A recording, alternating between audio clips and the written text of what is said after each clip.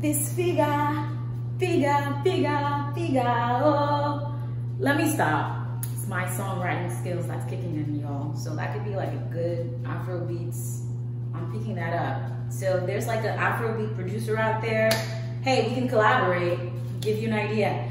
So you want to have your body in your 30s to look tight and right and have all the curves in the right places. What's the secret? All right, how do I keep my body for a woman who is in my 30s? I'm getting up there, guys, so, but I do feel like I am still in my early 20s. If I can be honest, I still feel like, let's go back to like adolescent, teen, late teens, 18, 19. I'm feeling that. I'm young at heart. What's the secret? I'll share. What is it that I do to maintain my figure, my body? I am 5'2", for reference, and I currently weigh 128 pounds. Give you a look. This is me, okay? I will share. Some of it do attribute to genetics. However, I don't want to make genetics like the sole focus here because yes, we can have good genes or bad genes and bad genes can be modified through diet. Believe it or not, you can change your entire genetic makeup with by food, by what you put in your body, how you feed it. Within like, I was reading this research, I think it takes like about seven years, you can totally change everything. Like you procreate your baby, everything that was back in your family history does not even have to pass over. It doesn't have to pass on is what I meant to your offsprings. Anyway, let's get into the video. What is it that I do to keep this body right? All right, no singing. What I do is, you're gonna go into the diet. I know we don't wanna talk about it, but diet is key. What you put in there is what you're gonna get. Input gives you output. Output. All right, and also I would say it goes back to my upbringing. I grew up on an island. I'm an islander, I'm Caribbean we eat totally different compared to the American diet. I grew up eating whole foods, foods that are cooked, that you actually have to pick it from the tree or go and fetch it or fish for it and then cook it and then you have dinner or lunch as a family. That's how I grew up. But being in the States, it's been hard, I'm not gonna lie. All the processed food, the burgers, the meat. They're not the same compared to the islands because there's so many hormones that are pumped daily into the cows, into the chicken. And I eat meat, but I try to eat it sparingly. I try to not eat it every day of the week. I'm not a whole meat fan. I didn't grow up with chicken. Honestly, I grew up with seafood, fish. So if I can eat that every day, I'm comfortable. I'm okay meat is like a luxury and if I have meat, I want it to be at least good quality. So if you want to eat meat, if you're um, a carnivore, if you're eating meat, try to have the best quality of meat possible. Um, there's grass-fed. You can um, do your research too to find out where the meat is coming from and um, see if it's a good fit for you and what you stand for ethically, how they treat these animals. So yes, food does play a, a major role. Eating habits, not eating at night. I can't emphasize enough how much this can like really affect your weight, especially in our 30s, our hormones, hormones fluctuate. It doesn't fluctuate, our weight can fluctuate, excuse me. I meant like our hormones are like doing all sorts of crazy stuff. So you wanna make sure that you're putting healthy and clean thing, foods in your body fuel instead of just eating out of just like, oh, we're bored, we're eating. So let's try to cut out eating at night. I cut that out to like the bare minimum. Every now and then I would crave a comfort food. But if I had, if I ate the night before, um, late, I try to fast the, the morning the next day, which goes into, into um, intermittent fasting.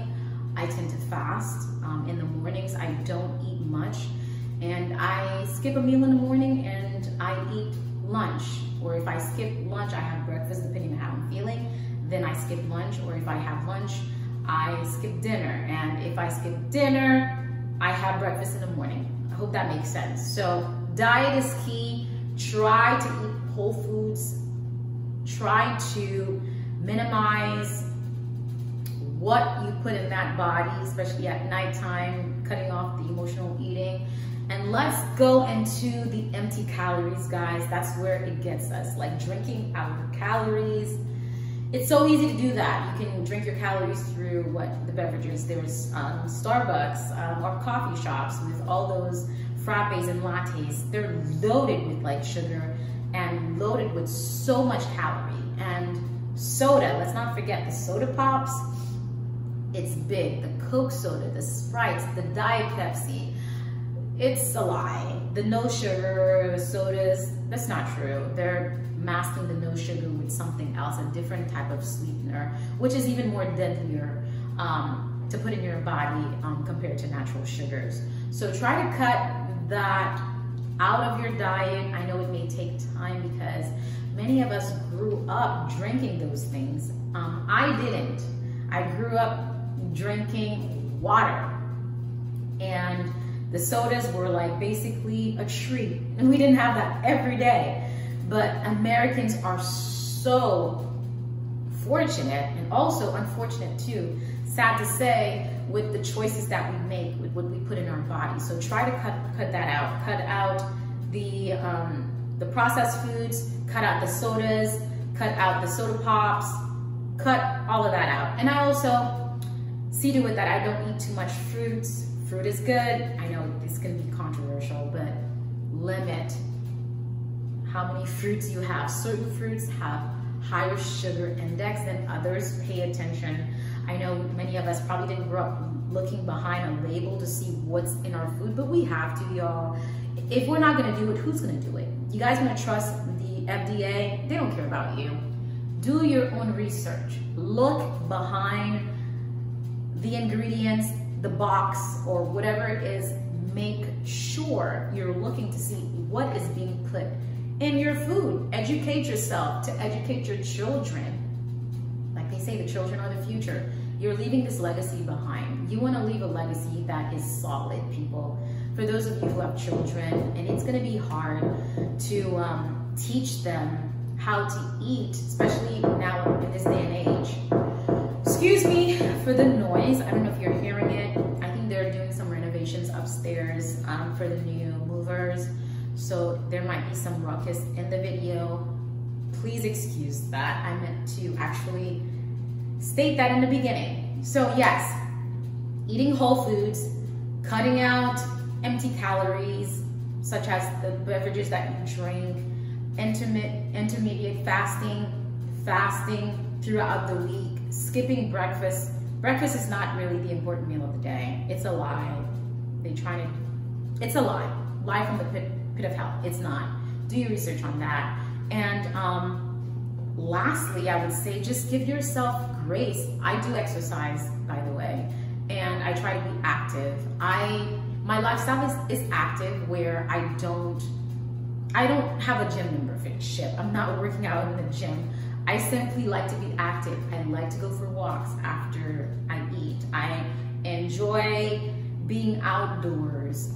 That's how I keep active. Growing up, we used to be outdoors, running around, climbing trees, um, playing hide and seek with our friends. These kids nowadays are basically glued on a couch with their video games, their phones, and that's it. Kids don't play outside anymore like we used to. Have your kids to go outside. Encourage them to play outside. It's summertime. Of course, we're to be careful with the heat. But if it's nice outside, have them go play. The heat won't kill them. I've played in the heat. But of course, we got to be mindful of that. But kids were meant to be outside to play. So as an adult, I incorporate that into my lifestyle, having time to play. And it's a weekly thing that I do. So get active, get moving. And that's it, y'all. Nothing crazy. I'm not out here, you know, scheduling for a procedure because your girl can't afford it, even if I wanted to. So this is just me working with what I have and you can start today wherever you are. Work with what you have and give your body grace. It's not gonna happen overnight, but keep in mind the little increment steps that you make, they're going to add up because it, it is. It's just the law of, of nature or the, the, the law of, it's just the law. If you put in the work, you will see the results, okay? I'm so glad you stick with me up until this point. And if you have any questions, if you have any concerns, please hit me up, leave a message in the message in the description below and let me know how is it for you in your 30s with your weight because there are those of you who, who um, struggle with it and there are people who are eating um, clean and doing all these things that I'm doing, but they still struggle with the weight. Um, if it's not the eating, then it has to be something else underlining. It could be a hormone or a thyroid situation. I'm not a medical professional.